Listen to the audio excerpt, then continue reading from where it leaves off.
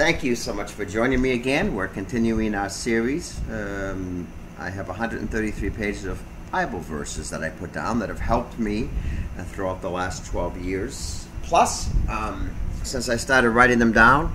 And I just wanted to share them with everybody. So we have uh, know, a dozen or 13 or whatever uh, video, audio videos that aren't really videos, but we put our audio on videos on YouTube. We want to share God's Word throughout the world. Amen. So please go to our website, eternalevangelism.com. That's eternalevangelism.com. Hundreds and hundreds and hundreds of teachings up there. And um, today, our uh, there's a search function there, so you can use that and search for any subject you want, and you'll get a great biblical answer. Praise God. We are combating the false church out there. Read the book of Jude and read Second Peter chapter two. There are false churches everywhere. I believe 99 plus plus plus percent of all the churches that call themselves Christian out there are false. They don't preach the whole gospel. They preach an ear-tickling Revelation 3:16 lukewarm gospel that sends people directly to hell. This study is called Do Not Love the World and Walk as Jesus walked. Here we go. 1 John chapter 2 verses 15 to 17. It says, "Do not love the world, neither the things that are in the world. If any man loves the world, the love of the Father is not in him." For all that is in the world, the lust of the flesh and the lust of the eyes and the pride of life, is not of the Father, but is of the world. And the world passes away, and all the lust thereof. But listen closely. But he that does the will of God abides forever. You will hear in every single one of my exhortations, you must do, you must do, you must work, you must work, you must work righteousness. You must do for God. If you're not a doer, you're deceived.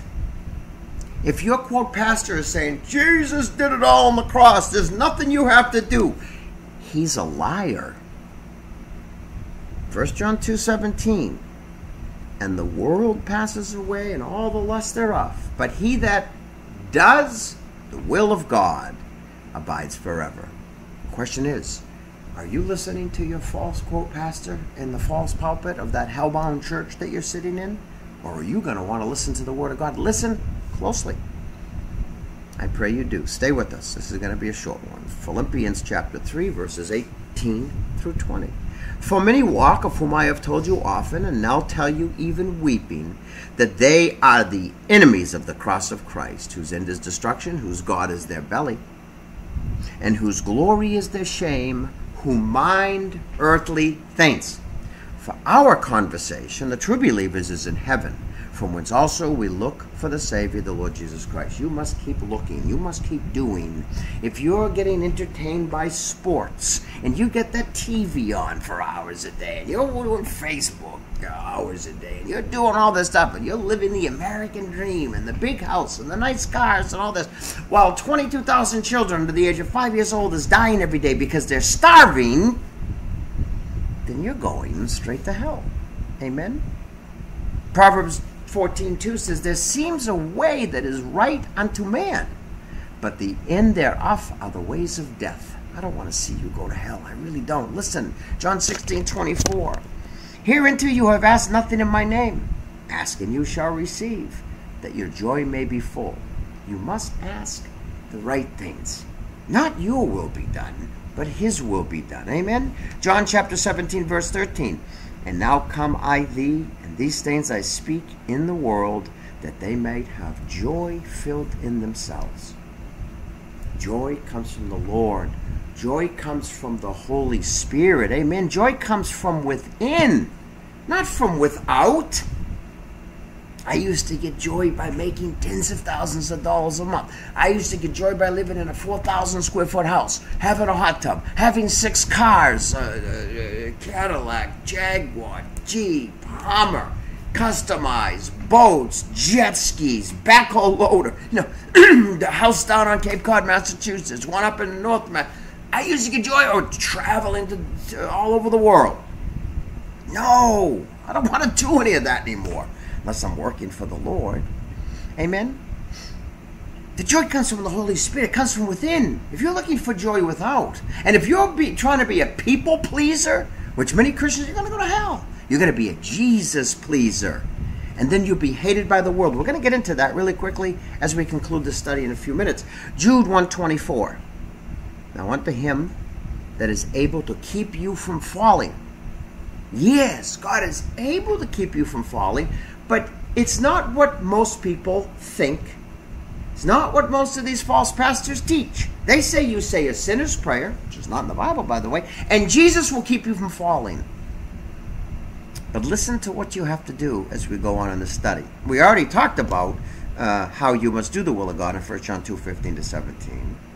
So Jude 124, and read the whole book of Jude talks about false teachers. Now, unto him that is able to keep you from falling and to present you faultless before the presence of his glory with exceeding joy. So, yes, if you are doing his will, if you are abiding in the vine, who is Jesus, praise God. If you are going to the sin offering, Jesus became a sin offering, not a sin covering. Romans 3.25 says he became the propitiation for sins that are past, praise God. Then he will help you Philippians 2 2 says, Fulfill ye my joy, that you may be like minded, having the same love, being of one accord and one mind.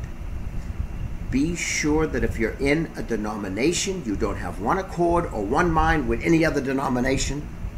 And if you're in one of those non denominational churches that act like uh, circuses, get out. Listen to 1 Peter 1 8.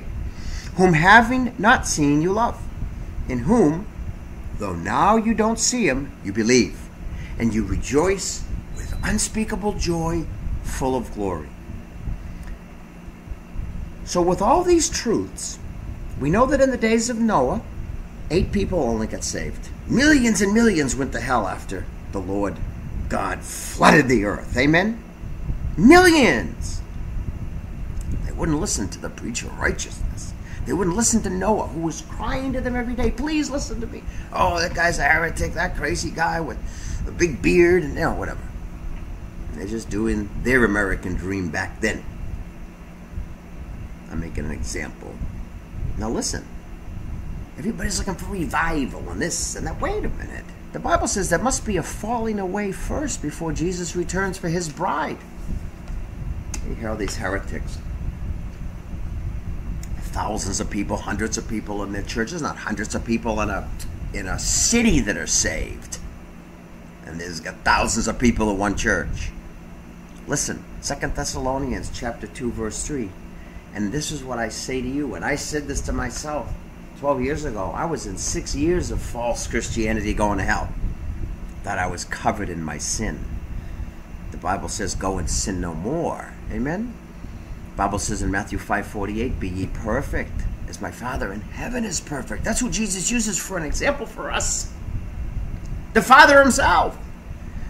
2 Thessalonians 2 3 says, Let no man deceive you by any means, for that day shall not come, except there be a falling away first, and that man of sin shall be revealed, the son of perdition.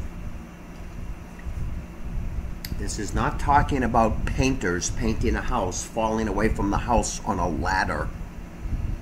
This is talking about people that had become born again and have fell away and have given up the Holy Spirit and have fallen away from the faith. How can anybody deny the falling away as if it isn't mentioned in the Bible? It sounds good that you're saved forever, but that's heresy. It's spelled out in black and white and it's in full swing now. And those who deny it have already become part of it. Listen very closely to these words. Your pastor will not, put that in quotes by the way, your false pastor, I should say, will not read these verses Matthew 24, 10 and 11. And then many shall be offended. And offended in the Greek means to fall away. Many shall fall away. Okay? And shall betray one another, and shall hate one another. And many false prophets shall rise and deceive many. We are in that day. 99% plus plus plus of the quote churches on Main Street and the back roads in the cities and the towns all over this world preaching a false, easy believism gospel. So you give them money. They don't care about your soul. I don't care how nice they dress and how much they smile. They're heretics. Matthew 24 24. Listen, for there shall be false Christs and false prophets, and shall show great signs and wonders, insomuch that if it were possible, they shall even deceive the very elect. That's God's word. Matthew 11 16. And blessed is he whosoever shall not be offended in me, who shall not fall away from Jesus. Hebrews 6 4 through 6. For it's impossible for those who were once enlightened and have tasted the heavenly gift and were made partakers of the Holy Spirit and have tasted the good word of God and the powers of the world to come, if they shall fall away, to renew them again unto repentance, seeing they crucified themselves, the Son of God, afresh, and put him to an open shame. I want to clarify this. This is for people like Esau. Are you an Esau? This is for people like Judas. They were once in the faith. They left the faith. They tried to come back, but they didn't truly repent. So they put the Son of God into an open shame, and they had no place for repentance. Okay? You can't sin and repent, sin and repent, sin and repent, sin and repent. It's not how it works. Oh, Jim, we sin daily in thought, word, and deed. Really? What can't you give up? Lying, cheating, stealing, adultery, lust of the eyes? You can't stop that? Have you done that while you were listening to this video? You might you, see you've stopped it for 10 minutes. You can't do it for 10 hours, 10 days, 10 months, etc. Amen. See? I hope you haven't sinned while you've been listening to this. Praise God. 1 Timothy chapter 4 verse 1 through 2. Now the Spirit speaks expressly that in the latter times some shall depart from the faith. There it is. Depart from they had faith, they were saved, don't believe these Baptists and these Calvinists and Reformed Baptists and a lot of the non-denominationals. Oh, you're saved forever. What a liar.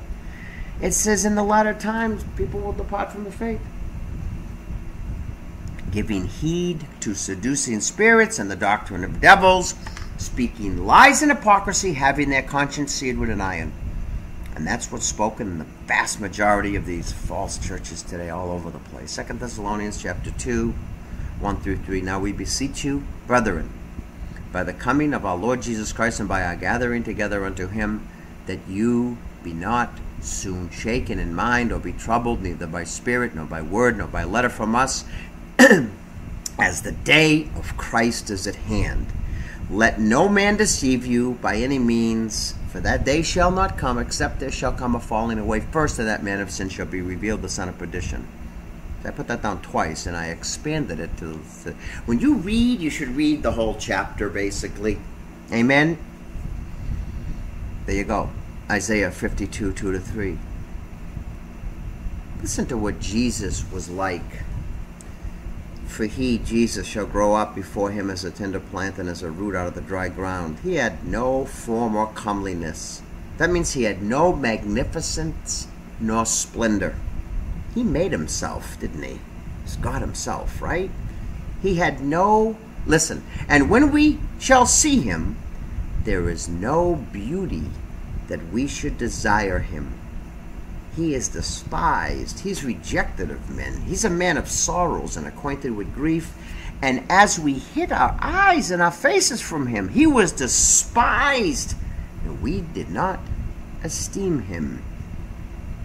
When he came, most of the Jews that were supposed to be in the Word were too busy living their best life now and trying to get into high positions and trying to hold on to their and, and not trying holding on to their sin that when jesus showed up if you were a true studier of the word a true a, a, godly person you would have looked at him you would have talked for a second you said boom that is god. That's the messiah jesus went around boom he said to matthew come with me Matthew didn't say I got to go tell this person, that person. I can't. I can't. I you know I'm a tax collector. Boom. No. And apostle after apostle after apostle, disciple after when he's healed the man that was on the mount that had two thousand demons that couldn't be held by huge chains that the whole village knew about. He healed him and put the 2,000 legion, he said, Her name is Legion. You remember? I hope you know that story from the Bible. And he put the 2,000, they asked, put us into the swine.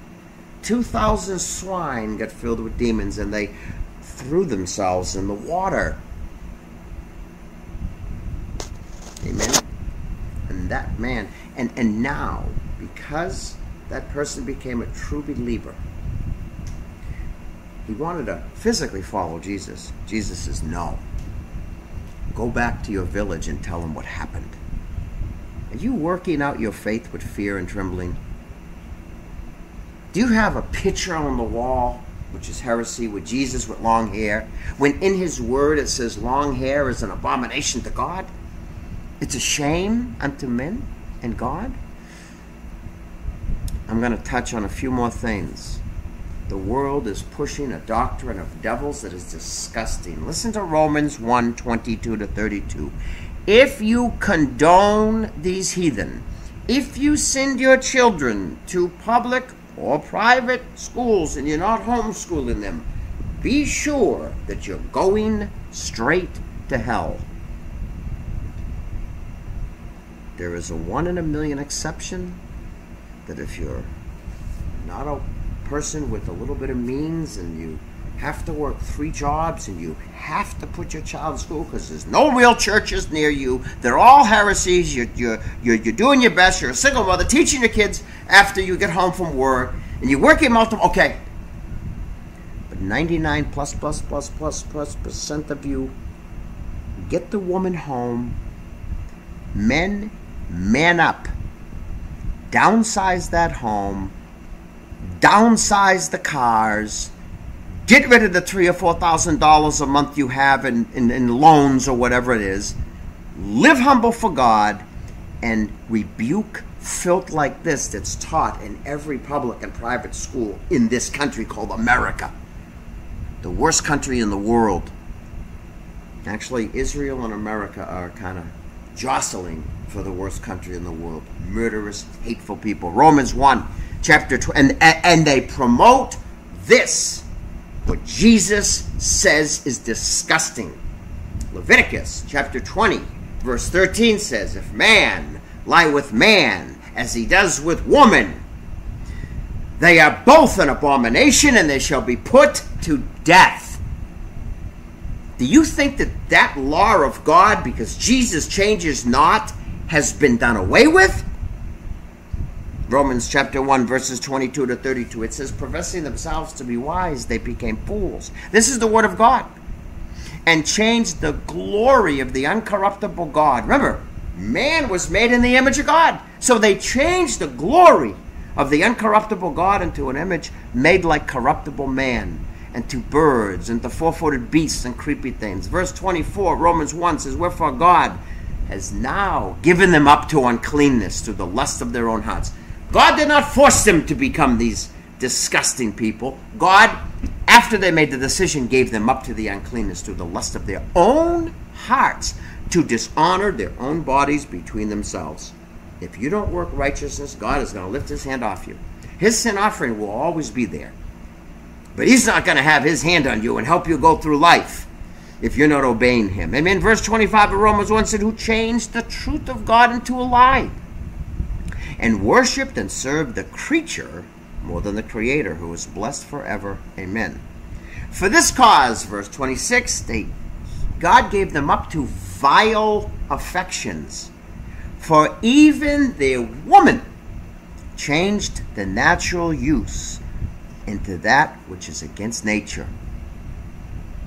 Woman having attraction to other women.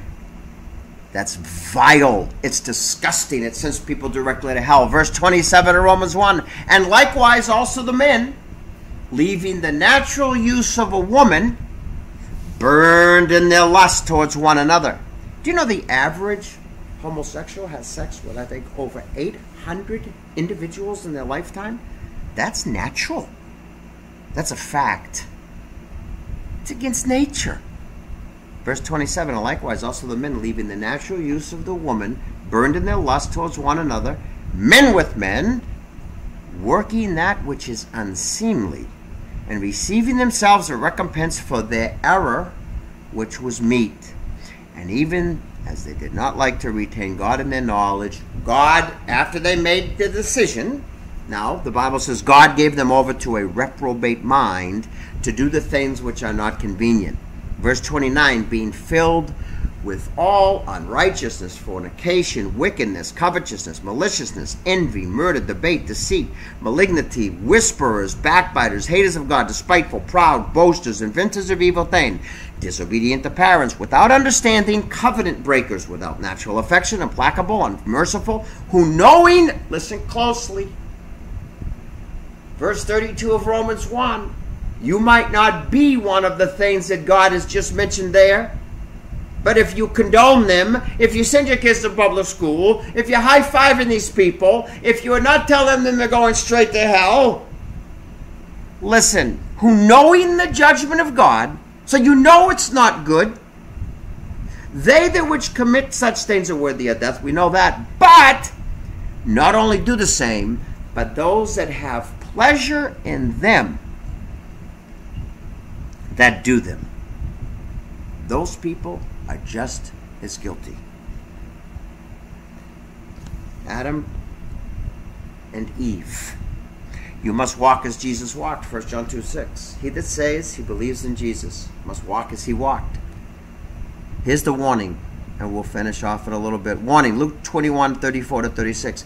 And take heed to yourselves, lest your hearts are weighted down. That means depressed, anxious, you're always biting your nails like. Take heed. Watch. Listen. Learn. If you have the Holy Spirit, you're not depressed. You're not anxious over nothing. Okay? Amen? And what I mean by that is clinically depressed. Okay? You run over your dog or something, something like that, you're going to be a little sad for a minute or two. Okay, lest your hearts be weighted down with headaches and drinking and anxieties of this life. And that day, Judgment Day, should suddenly come upon you. Luke 21 35 says, For it shall come as a snare on all those sitting on the face of the whole earth. Verse 36 says, Watch, pray in every season that you may be counted worthy to escape all these things which shall occur and stand before the Son of Man. Again, command after command, things that a true Christian has to do. Galatians 5.22 says, But the Spirit, fruit of the Spirit, excuse me, is joy, love, peace, long-suffering, gentleness, goodness, faith. You'll hear that in the false churches. You'll hear John 3.16 in the false churches. But you won't hear Revelation 3.15 and 16. This is if you're lukewarm, you're going to get puked out on Judgment Day. You won't hear John 3.36 as the wrath of God abides on sinners. No, Jesus does not love sinners. Jesus' love is available to sinners. Jesus is not a friend of sinners. John 15, 14 says, You are my, Jesus speaking, you are my friends if you do whatsoever I command you. So 1 Thessalonians 1 6 says, Become followers of us. These are true disciples. And of the Lord Jesus, having received the word in much affliction, but with joy of the Holy Ghost. Remember Paul and Silas thrown in the middle of the jail. Rent, their, clothes were rent off. They were beat so bad they had stripes on them. They're bleeding. And at midnight they prayed and they worshipped. Praise God. I didn't get depressed. I didn't get out. How are we going to get out of here? They prayed. They had trust in the Lord. It's going to get worse, by the way, as the days go on. It's getting worse every day. Acts chapter 9, verse 31. Then had the churches rest throughout all Judea and Galilee and Samaria. They were edified and walking in the fear of the Lord and in the comfort of the Holy Spirit. were multiplied. So if you are depressed, if you are anxious, you're devoured by the devil. That's where he wants you to be because that takes you away from God. It takes you away from life. 1 Peter chapter 5, 6 to 11. It says, Humble yourselves before the mighty hand of God that he may exalt you in due time, casting all your cares upon him. Why? The Bible says, because he cares for you. If you're living holy for him, of course. And then it says, verse 8 of 1 Peter 5, be sober, be vigilant. These are commands because your adversary, the devil, is like a roaring lion. He's right on your shoulder. Blah, blah, blah, Resist him, he will flee, but you got to keep resisting.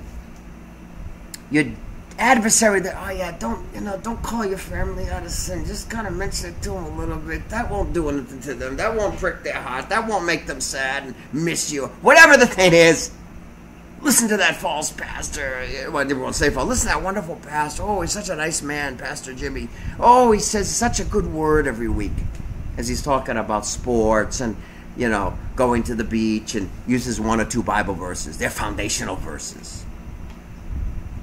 The devil is roaring as a lion, walking about, seeking whom he may devour, whom resist steadfast in the faith, knowing that the same afflictions are accomplished in your brethren that are in the world.